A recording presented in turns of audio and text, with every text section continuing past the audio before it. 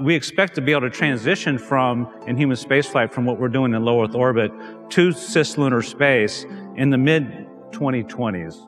What I'm focusing on is something we call phase zero, which is the exploration uh, testing on ISS of all the systems to keep people alive, to keep them healthy, keep them relatively happy, it's also doing all the human research to be able to prove out that we can keep people in space for long periods of time and that we test all the other related exploration technologies that are needed to go beyond low Earth orbit. All the communications infrastructure we can test on station, our new docking system and things of that nature.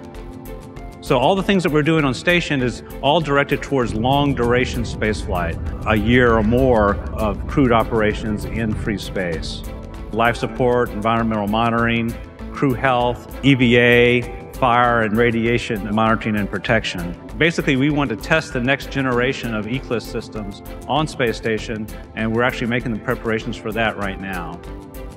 There's also a lot of other things we have to take care of in learning how to keep humans in space. All the logistics the communication lag can be up to 42 minutes round trip to Mars. That's basically running a spacecraft through texting with humans on board. The Science Mission Directorate has lots of experience in doing that today with commands and telemetry. We'll have to find new ways to do spacecraft operations with humans in the loop on those spacecraft.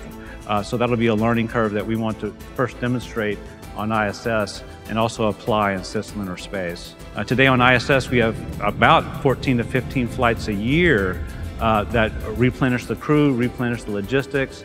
We can bring failed equipment back and figure out what, why it failed and refly it again. Um, going to Mars, we don't have any of that capability.